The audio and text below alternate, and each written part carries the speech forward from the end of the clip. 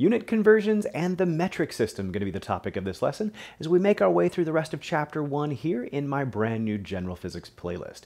Now, we're going to learn how to properly do conversions with the metric system. We're going to learn all these lovely metric prefixes, and you might also discover why maybe when you thought you were doing a conversion right, it ended up exactly backwards. Maybe you multiplied by a thousand instead of dividing by a thousand, or vice versa. You learn why exactly you did that and how to avoid it in the future.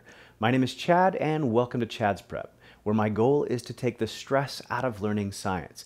Now, if you're new to the channel, we've got comprehensive playlists for general chemistry, organic chemistry, general physics, and high school chemistry. And on chadsprep.com, you'll find premium master courses for the same that include study guides and a ton of practice. You'll also find comprehensive prep courses for the DAT, the MCAT, and the OAT. So unit conversions all starts with these metric prefixes. Most of the conversions you're going to do are going to be within the metric system. And it's all properly using these prefixes. And you got to know what they mean. So uh, going from all a maximum here with exa at 10 to the 18th all the way to the smallest down here with atto at 10 to the negative 18th. And you got to know everything in between. Now in red here, I've kind of showed what the one letter abbreviation is when we kind of abbreviate the units. So notice like kilometers, and we put that k, lowercase k, in front of meters, the base unit. So if you wanted a petameter, you'd put a capital P in front of the M instead. Now, obviously, probably not talking about peta petameters anytime soon or anything like this. So, but that's why we've got the, uh, uh, the first letter in red, so you know how to abbreviate it when you combine it with a base unit. Okay, so again, we've got exa, peta, tera, giga, mega, kilo, centi, milli, micro, nano, pico, femto, atto. And again, you got to know what power of 10 each of these mean. Now, for some of the bigger ones, it's a little bit easier.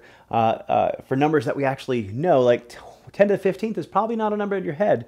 So, and the truth is, exa and peta, probably not going to be used super often, but they're on most standard lists now, so probably worth your time. Same thing down here with femto and atto and maybe even pico. Probably not going to see them super often, if ever, but again, they're on most standard lists, so worth your time to memorize. So, but if we look at like tera, this is the prefix that means one trillion. So a terameter is one trillion meters. Giga means a billion. A gigameter would be one billion meters. Gigabytes would be one billion bytes. So Linda, computer terminology. So mega means a million, kilo means a thousand. So centa, this one's a little bit funky. It means one one hundredth. So, and that's a little bit tricky because when you think of a centipede, you think, oh, centipedes have 100 legs. But it's kind of backwards, actually. It doesn't mean 100. It means one one hundredth. Uh, one one hundredth, just like a cent is one one hundredth of a dollar. So the centipede guys, uh, the biologists that, that named that organism got it a little bit backwards. So, but centa means one one hundredth. Now, that's going to be a little unfortunate as we'll see here. So let's take a look at a couple different ways this might work. So if we take a look at one kilo, like if we looked at one kilometer, well, kilo means 10 to the third, so that would equal 10 to the third meters. And that would be definitely one way to look at it. Same thing with the centimeters here. So if we did one centimeter, that would equal 10 to the negative 2 meters. And so the way this works is as long as you got one of whatever has the prefix, kilometer, centimeter, these have the prefix, it's going to equal 10 to some power of whatever that prefix means of the base unit. And so in a proper conversion, this is your conversion. You've got some equality that you're going to use. And the truth is, it doesn't matter if you do one kilometer over 10 to the third meters or 10 to the third meters over one kilometer. Either one of those can be used as a conversion depending on which way you're going.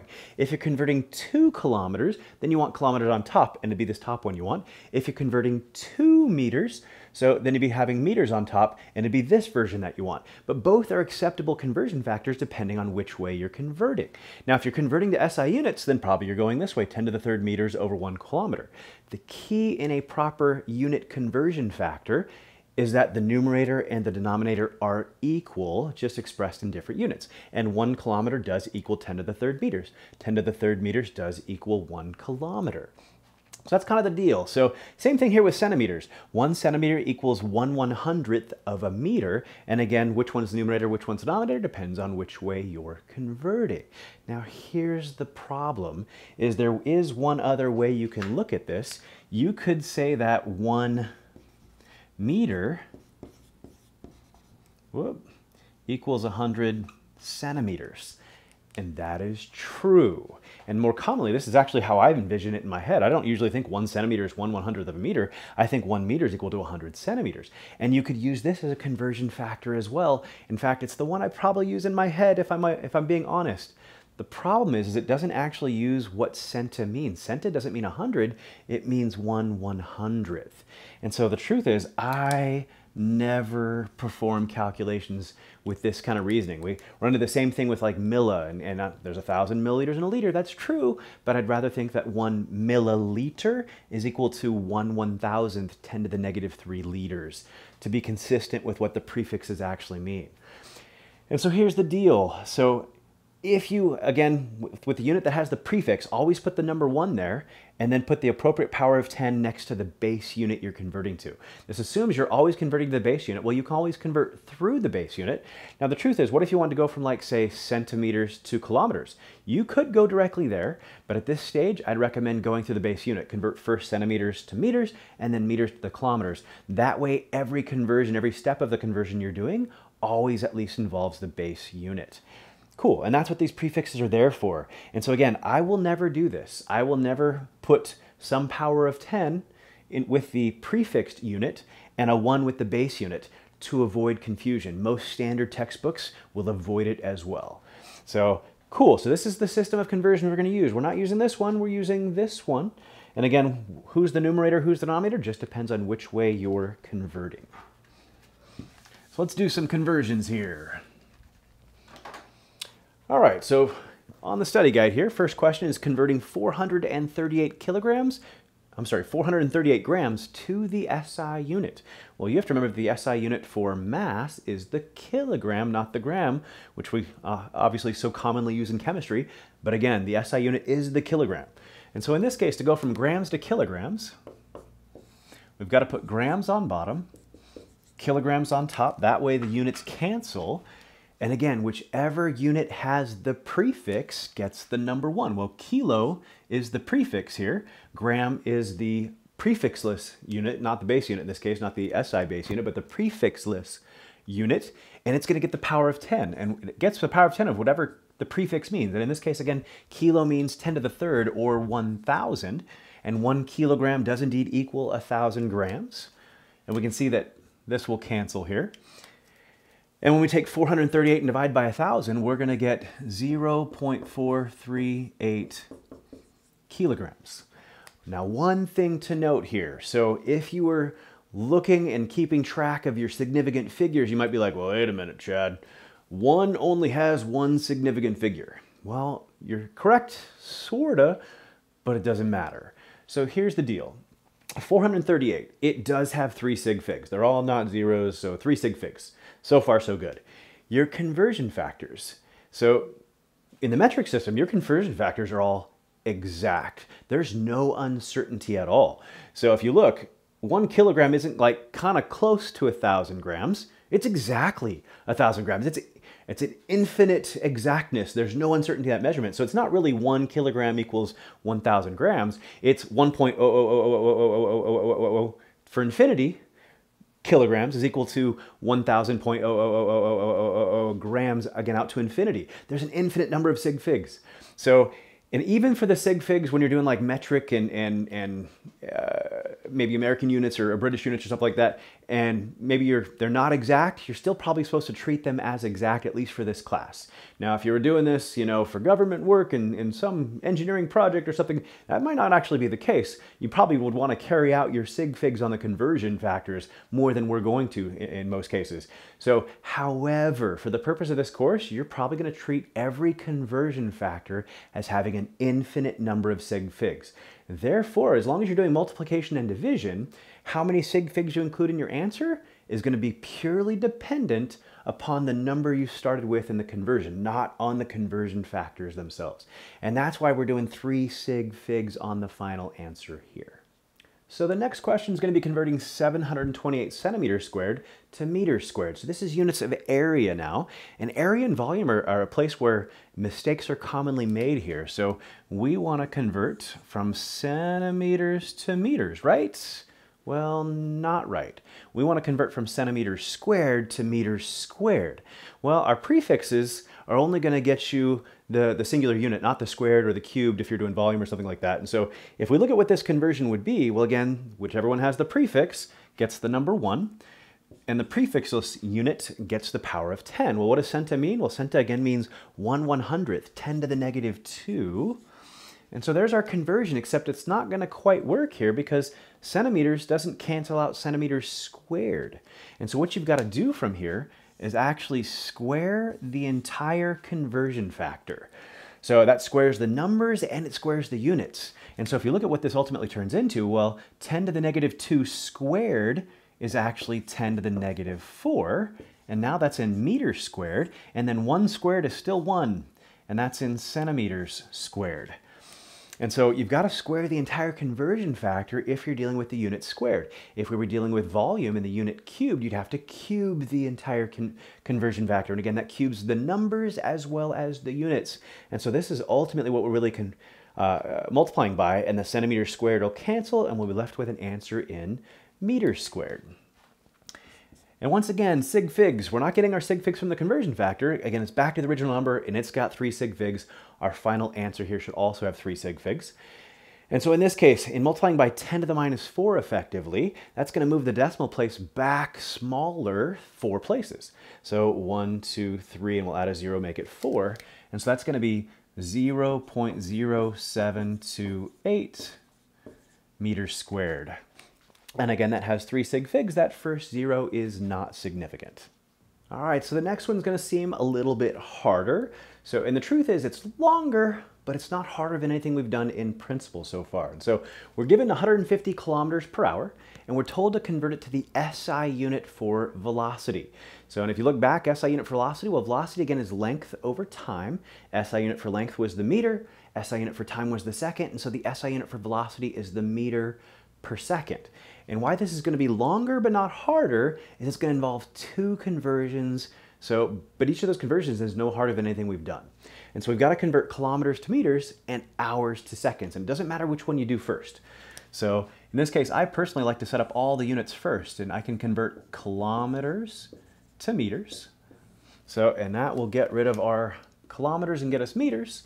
So, but then I need to get hours to seconds. And so a couple different ways you can look at this. So you can convert the hours to minutes and then the minutes to seconds.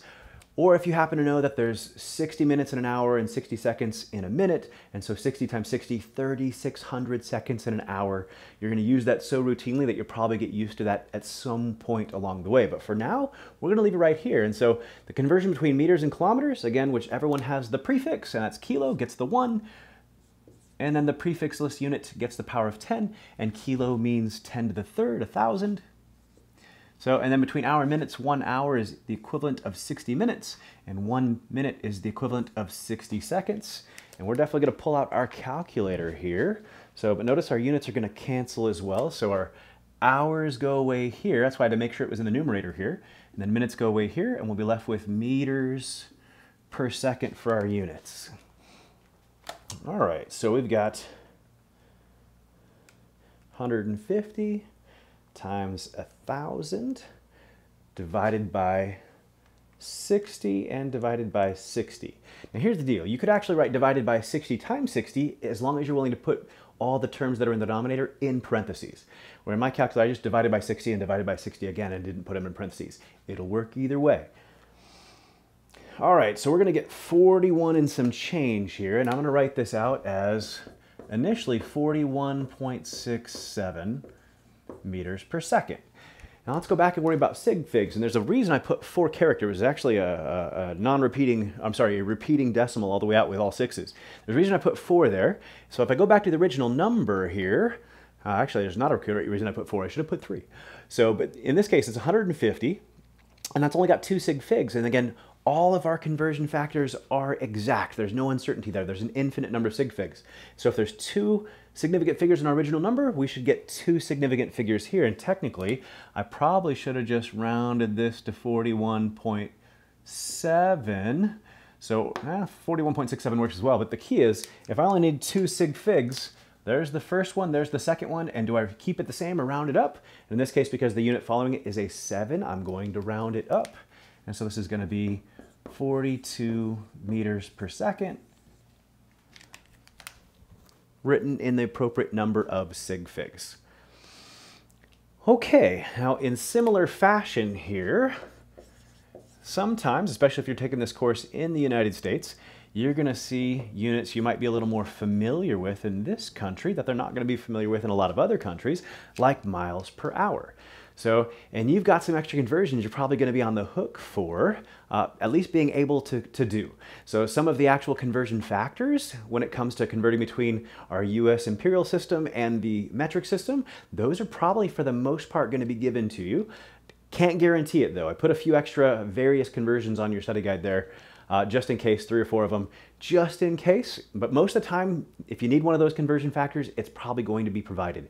If your professor makes a point of having you memorize some, by all means, ignore me and listen to your professor and memorize those ones you're instructed to memorize.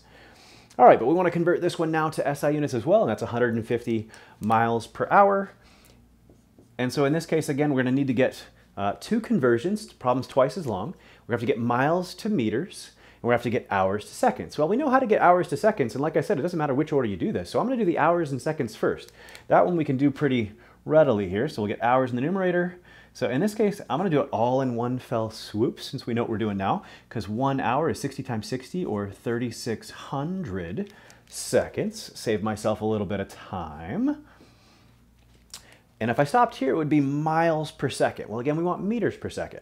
So at the end of this problem, I provided you with one of the unit conversions you're likely to be provided on such a problem. Also one of the ones that you might be required to memorize is really going to be up to your professor. So, but the one I gave you converts miles to kilometers. I didn't give you a way to get from miles to meters directly. Sometimes that might be given to you as well, but in this case it was miles to kilometers. That's your way of getting into the metric system, and then we can use our metric prefixes to get the rest of the way there. So that'll get us some miles to kilometers, but then, cancel out the miles, we'll want to get from kilometers to meters. So the conversion that was given was that one mile is equal to 1.609 kilometers. And again, you might look at this and be like, that's four sig figs. And you're technically correct. So this is actually not exact. So this is there is some uncertainty in this number. There are more decimal places you could carry this out too. So however, again, for the purpose of this course, you're most likely going to be instructed to treat all conversion factors as being exact and having no uncertainty. Cool, so again, the sig figs for the result are going to be completely dependent back on the original number of 150, which has two sig figs. All right, that's going to get rid of our uh, miles again and get us to kilometers, but then we want those kilometers to meter. The prefix, kilo gets the 1, the prefixless unit gets the power of 10, which in this case, kilo again means 10 to the third. That'll get rid of our kilometers, and now we'll be left with meters per second. And we'll let our calculator do the rest of the work for us here. So here we're going to have 150. And again, as long as all you're doing is multiplying and dividing, it actually doesn't matter what order you do it in. So I'm going to divide by 3600 and then multiply by 1.609 and then multiply by 10 to the third or 1,000. All right.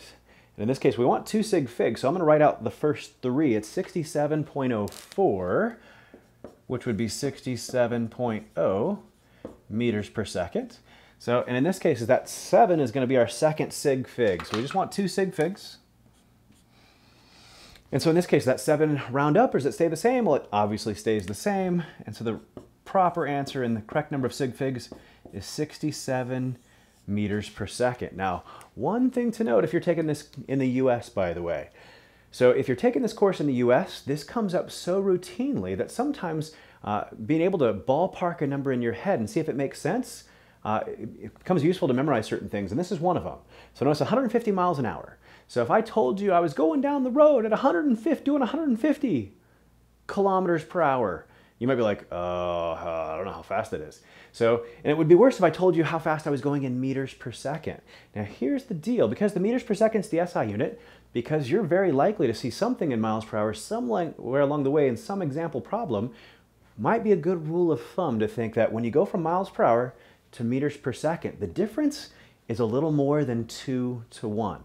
So if I cut 150 in half, that would be 75, and this is just a little bit lower. And so when you want to know, well, I've got 150 miles an hour, that's going to be a little less than 75 meters per second. Good rule of thumb, because sometimes it's just convenient to kind of ballpark some things to see if you can get an answer that makes sense, especially on a multiple choice question. Sometimes you can avoid all the math and get the right answer with such a thing in your head. Not the biggest deal now, and again, really planting seeds for the future. For now, you should really be working these things out. But in the future, this could prove very useful. All right, we've got one more conversion to do here. And this is 1.5 grams per cubic centimeter or centimeter cubed. And we want to convert this to the SI unit for density. Well, density is mass over volume, and the SI unit for mass is not the gram, it's the kilogram. And the SI unit for volume is not the centimeter cubed, it's the meter cubed, and that's the nature of the conversions we've got to do. And again, it doesn't really matter which one we convert, but this will also involve two conversions. So I'm going to start with the grams and the kilograms. It's going to be a little bit easier to work with. Put the grams on bottom make them cancel, kilograms on top. The kilogram will get the 1 since it has a prefix, and the gram is going to get the power of 10, in this case 10 to the third power for kilo. So far so good. And then centimeters on top to cancel this, and meters on bottom. But notice that's not going to be sufficient here because we don't actually have centimeters, we have centimeters cubed, and that means whatever this conversion factor ends up being, I'm going to cube the whole thing. Centa has the prefix, so I'll put the 1 there. Meter gets the power of 10, and centa means 10 to the negative 2, or 1 100th. And once again, I will cube the whole conversion factor. So this becomes 1 cubed, which is still 1. So 1 centimeter cubed. But 10 to the minus 2 cubed is 10 to the negative 6 meters cubed. So, and that's how that's going to go. And whether or not you want to put this, you know, solo in your, in your calculator and then cube it, or actually cube them individually like I'm doing 1 over 10 to the negative 6. So it's entirely up to you, whatever uh, uh, ends up being more reliable for you. So, but this will, again, give us 1 over 10 to the negative 6 centimeters cubed over meters cubed, and that would cancel our units out, leaving us with kilograms per meter cubed, the SI unit for density in this case. And we'll let our calculator once again do the plugging and chugging for us. So we're going to get 1.5 divided by 10 to the third or 1,000. And then divided by 10 raised to the power of negative 6. Or on some of your calculators, you could also write that as 1e to the negative 6. And that's going to get us 1500